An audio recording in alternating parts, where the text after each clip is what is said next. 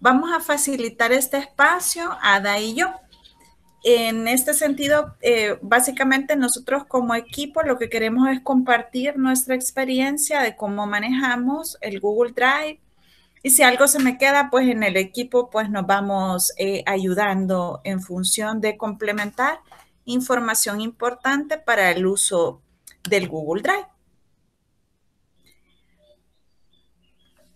Bueno, básicamente nosotros todos tenemos acceso a lo que es el Drive y tenemos estos espacios eh, que generalmente nos confunden y eso lo, lo, coloco porque ya me ha pasado que la gente dice, bueno, cuando abro el drive encuentro cosas que yo nunca había visto o no son mías.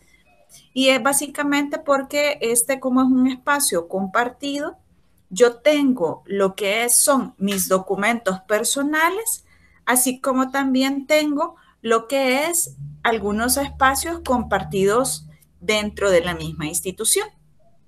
Porque Google nos permite justamente hacer como eh, tener este espacio de interacción compartiendo documentos sin necesidad de enviar los documentos por correo como lo hacíamos antes.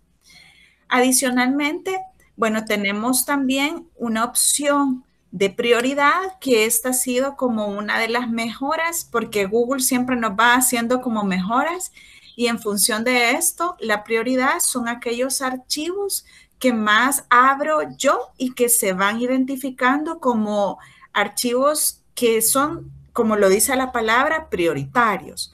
Entonces, en esta siempre se nos van a alojar todos estos archivos que yo he estado abierto o con frecuencia abro a una determinada hora. Entonces, para ver el tema de mi unidad, eh, mi unidad se compone por todas aquellas carpetas que yo tenga disponibles en nuestro Google. Para comenzar, decirles que el almacenamiento que nos permite no hemos logrado identificar eh, hasta cuánto podemos almacenar. En este caso, yo tengo 50 gigas. Y aparte de eso, bueno, en estos 50 gigas, para aquellos que no somos técnicamente muy habituados con esta terminología, decirles que tengo una gran cantidad de fotografías, videos y videos también que eh, duran eh, más de una hora.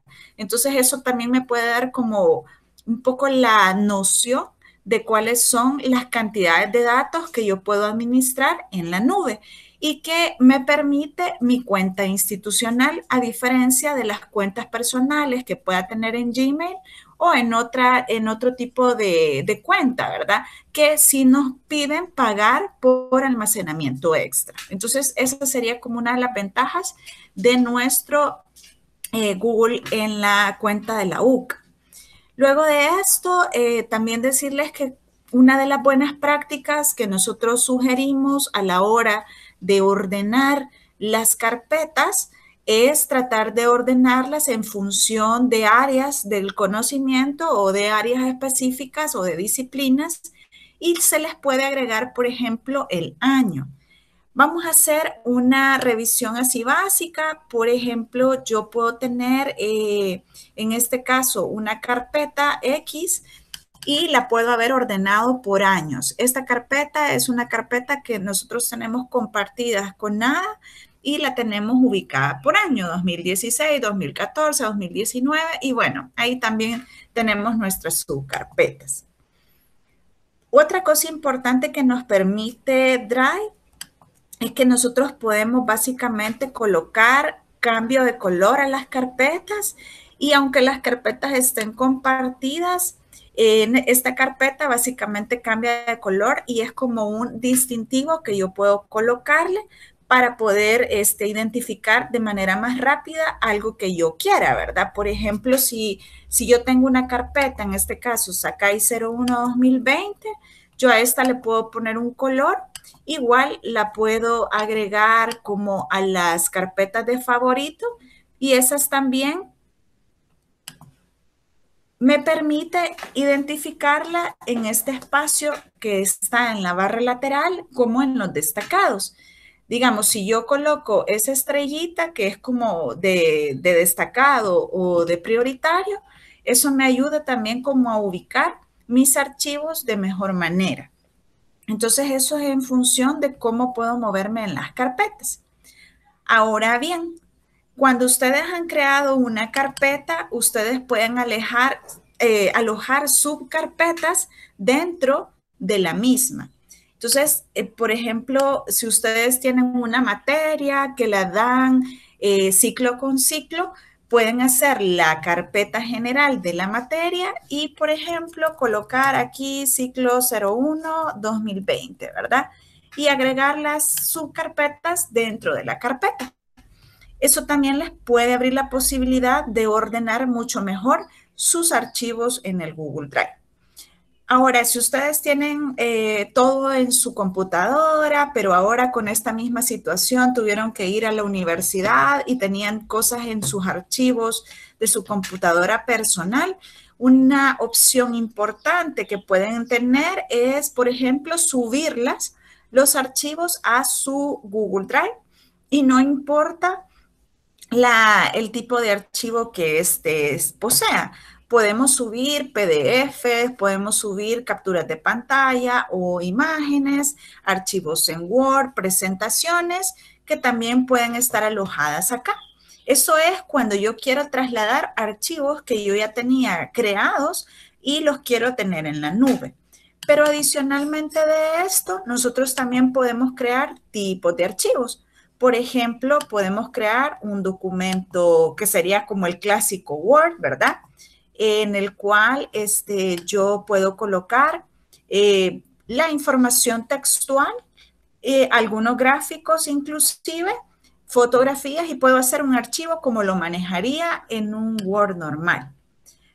También puedo crear lo que son hojas de cálculo eh, de Google, que es como la versión en Excel, ¿verdad? Esta versión en Excel eso sí, tiene bastantes funciones similares a las del Excel, sin embargo, hay algunas que no son tan funcionales o todavía no han sido mejoradas como para llegar al nivel que tiene el Excel.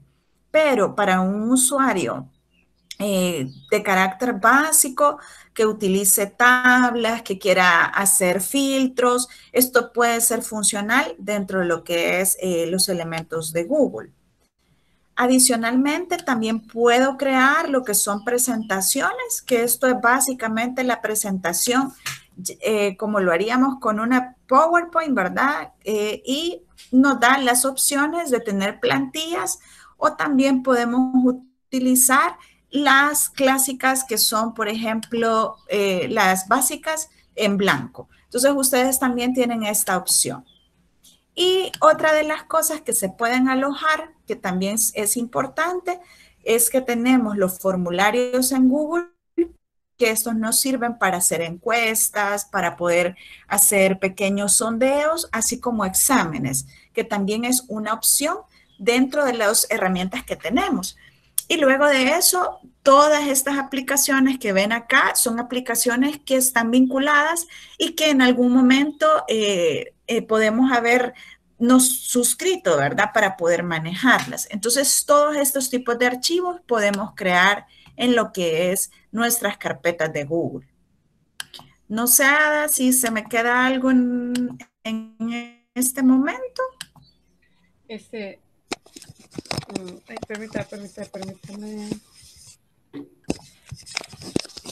No sé, quizás en el de eh, en el de destacado, Pati, que vean cómo se miran los espacios priorizados para que vean que aparecen, que Google nos filtra aquello que estamos usando con más frecuencia, ya como lucen en el...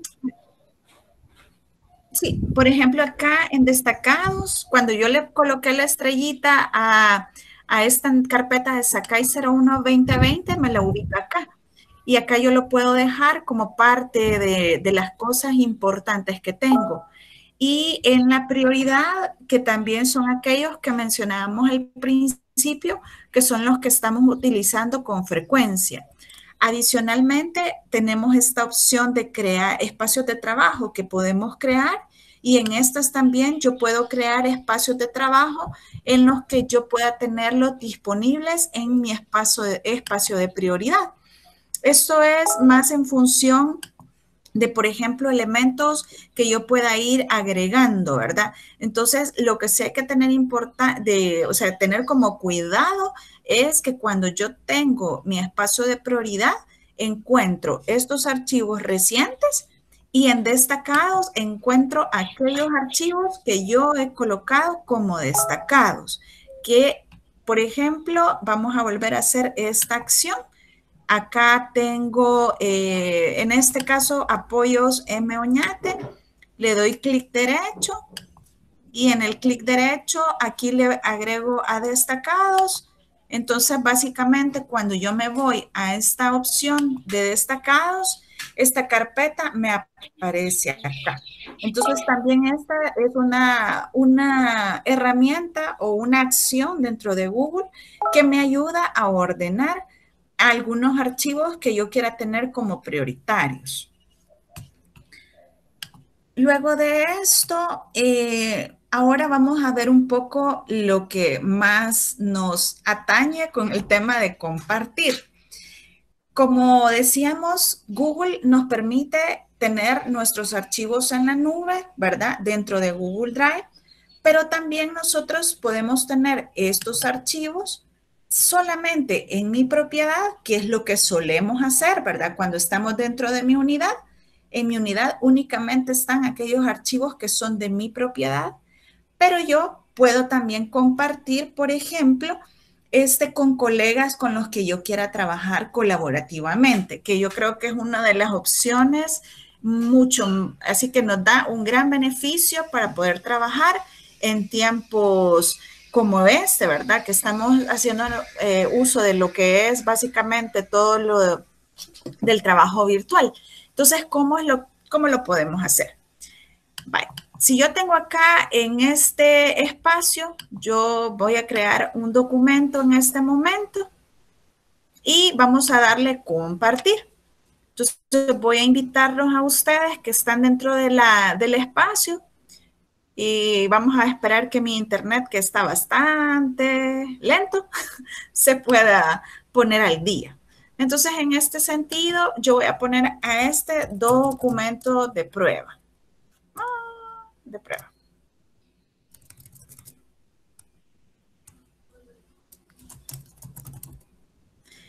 Este documento de prueba es únicamente en este momento mío pero yo lo quiero compartir.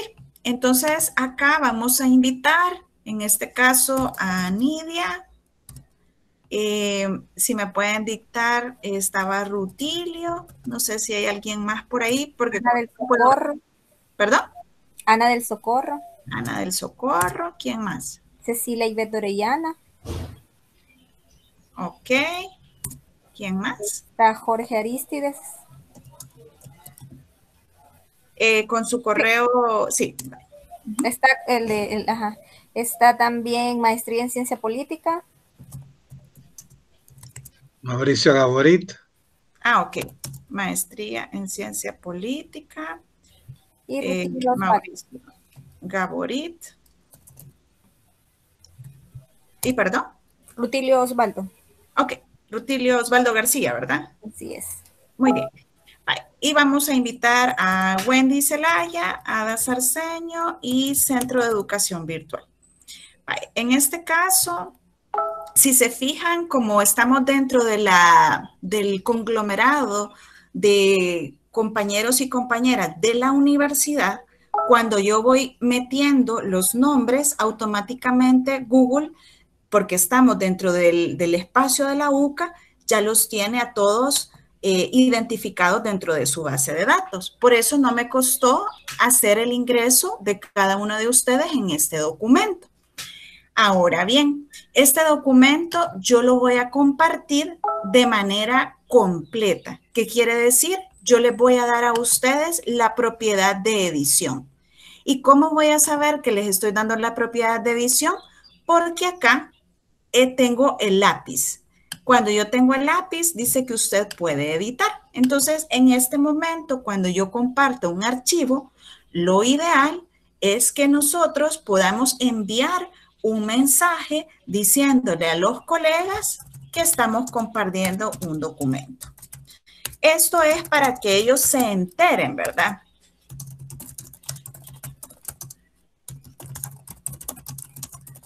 Y eso también es una buena práctica que ustedes pueden hacer con sus compañeros de trabajo, por ejemplo, o con los estudiantes. En este caso, yo voy a compartir y como ya he incluido todas las direcciones, he colocado que pueden editar y también tengo acá por defecto que dice que hay que enviar notificaciones a la persona, entonces yo les doy enviar. Acá ustedes podrán entrar al archivo compartido y ustedes podrán hacer edición, edición simultánea. ¿Para qué me puede servir esto?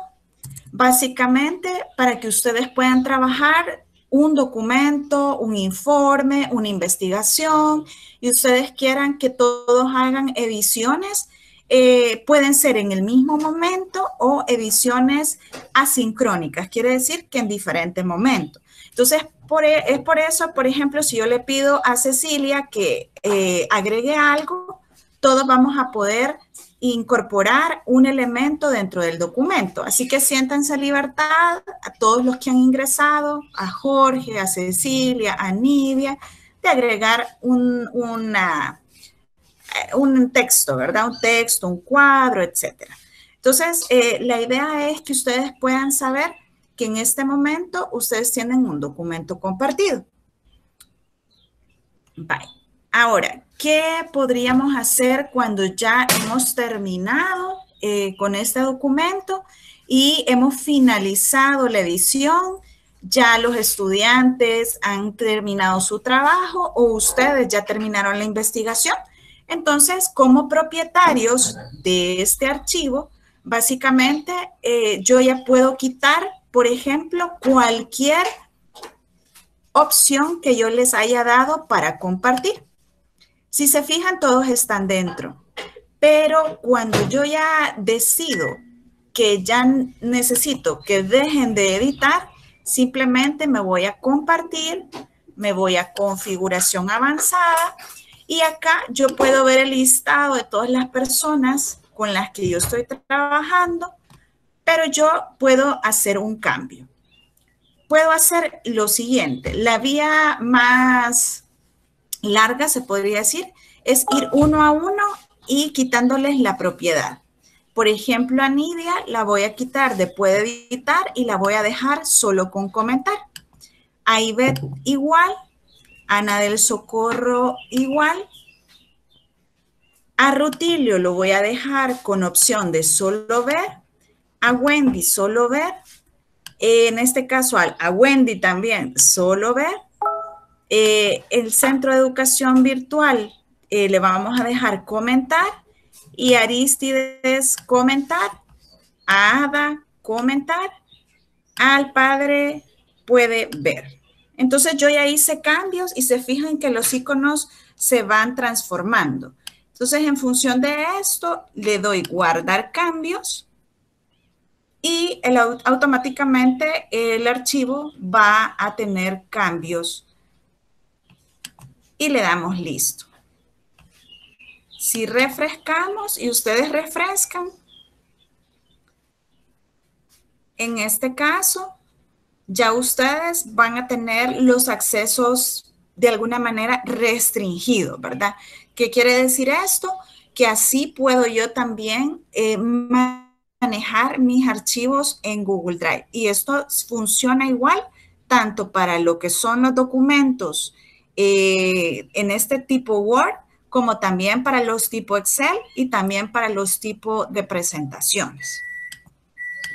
Ahora que ya hemos hecho estos cambios, vamos a ver si logramos que en este caso Nidia nos pueda hacer algún cambio.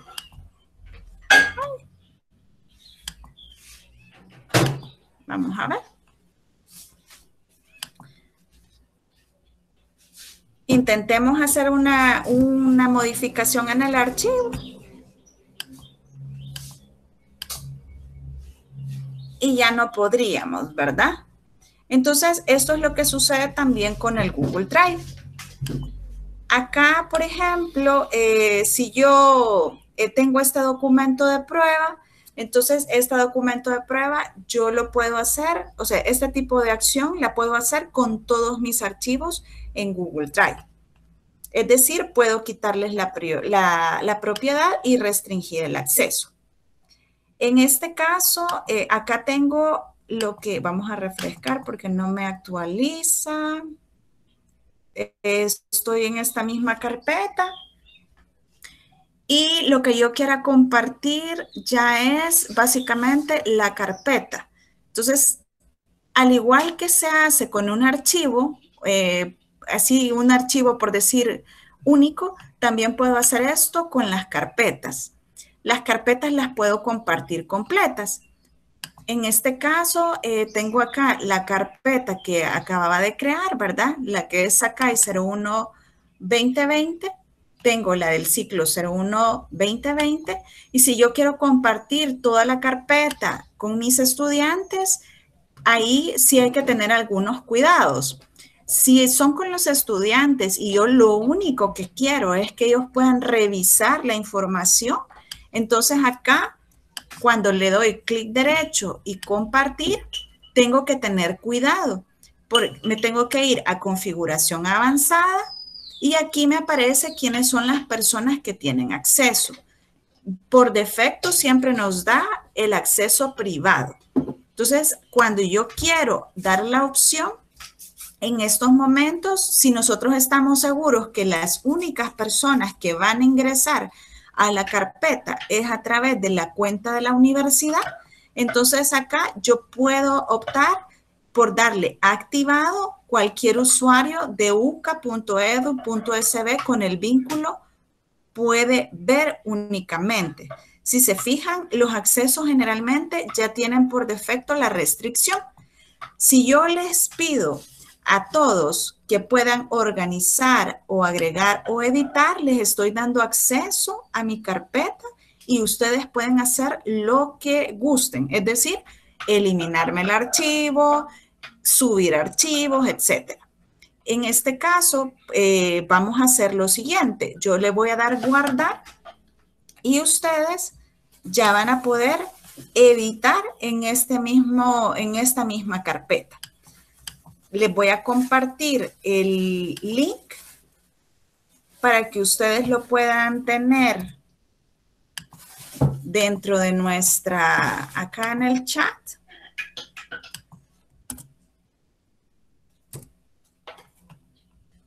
Y les pediría que todos los que están ingresen a la carpeta y puedan colocar eh, algún archivo. Esto es lo que se haría básicamente si yo estoy compartiendo con mis estudiantes una carpeta. Por eso los cuidados son que cuando yo voy a compartir, tengo que estar bien segura de las personas con las que voy a compartir. Por defecto, Google siempre nos protege y nos da la privacidad. Pero si ustedes eh, acá les dan el acceso, entonces sí pueden abrirles el espacio para que los estudiantes puedan acceder a la información sin restricciones y pueden suceder accidentes que tal vez no es por mala intención, sino que simplemente no sabemos y podemos eliminar archivos pensando que estoy en una carpeta que a saber si era mía, ¿verdad? Porque a veces en los compartidos conmigo tengo confusión. Entonces, a los que están ahorita y les ha llegado el enlace, si pueden colocar algún archivo y vamos a ver este, la información que se ha subido. Mientras tanto, no sé si hay algo que acotar en este momento.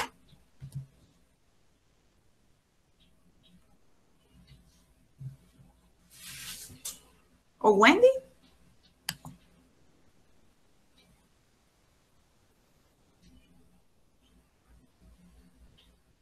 Perdón, perdón. Este, yo solamente él iba a decirle a la forma de, cómo, edit, cómo en, en, las carpetas y en los documentos se puede sin problema eh, cambiarles nombres, se puede sin problema este, irles poniendo alguna característica que les pueda servir a ellos para identificarlos, ¿verdad? Eso creo que también Este, es importante. retomando esto que Wendy Zelaya nos ha dicho, es porque como tenemos dos Wendy's, entonces Wendy Zelaya nos ha dicho, cuando nosotros tenemos la carpeta, como decíamos al principio, podemos hacer un cambio, eh, identificarlo por color, ¿verdad? Esa es una opción. Por ejemplo, cada quien tiene códigos distintos y esto de acuerdo a la organización propia. Es decir, yo puedo dejar las carpetas color verde para todo lo de tecnología, las carpetas rojas para todo lo pedagógico, eh, las carpetas azules para todo lo que son las investigaciones. Entonces yo puedo ubicar por clasificación de color las carpetas. ¿Cómo se cambia? Eh, otra vez volviendo a una carpeta, clic derecho y se me abre el menú y aquí tengo todas las posibilidades. Eh, una de las primeras que podríamos para organizar es el cambio de color. Eso no sirve. Y lo otro también, si le doy clic derecho, es agregar a los destacados si es una carpeta muy importante. Porque como lo decíamos al inicio, en esta barra que está ubicada en la parte lateral eh, izquierda, tengo los destacados. Inmediatamente yo destaco una carpeta. Estas carpetas por defecto se me ordenan acá. Entonces, eso también puede ser una posibilidad. Ahora bien, con respecto a nombre, eh, como decíamos al principio también, podemos organizarla de acuerdo a los nombres específicos, de acuerdo a sus áreas de conocimiento. Si son investigaciones, pues obviamente el nombre de la investigación, solamente que una sugerencia es que no sean nombres muy largos, porque entonces cuando ya necesito buscar, que ya vamos a hacer un ejercicio para buscar, entonces sí el, el servidor implica más recursos para poder identificar dentro de toda la información que tenemos. Entonces, ¿cuál sería como una de las sugerencias? Eh, nombres que les ayuden a ustedes a recordar y ciclos y años, porque también los ciclos y años nos permiten ubicarnos en tiempo. Entonces, eh, si ustedes tienen aquí, pueden ver, ¿verdad? Apoyos a esta persona, es, en este caso es un apoyo puntual, pero tengo Sakai 01 2020, Sakai curso 01 2020, Sakai COVID-19. Entonces, nombres que les permitan a ustedes también identificar la información dentro de este espacio. Ahora que, eh, bueno, ya vimos cómo compartir.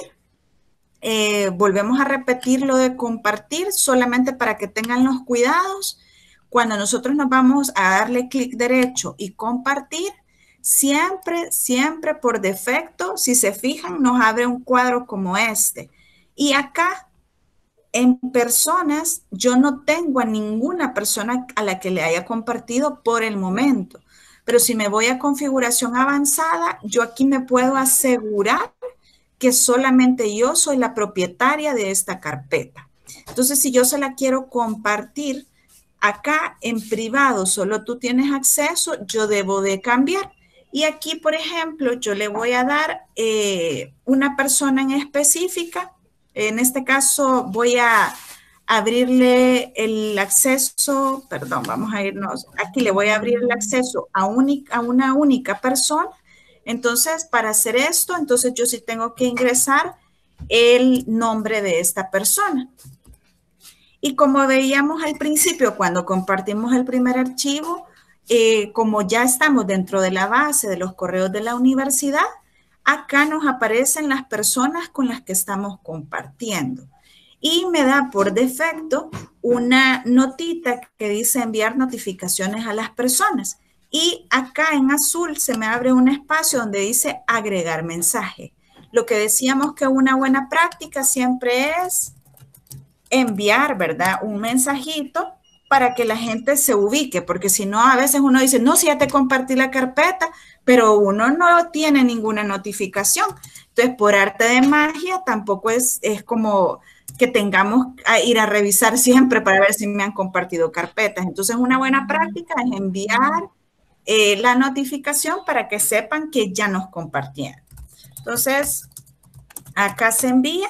Y otra buena práctica es eh, enviar una copia. Esto no lo tiene por defecto. El chequecito normalmente está en blanco. Se sugiere marcarlo porque de esa manera les va a llegar un correo a ustedes como propietarios. Y si acaso la persona dice que no encuentra la carpeta, ustedes tienen un comprobante de que enviaron la carpeta. Entonces también esta es una buena práctica.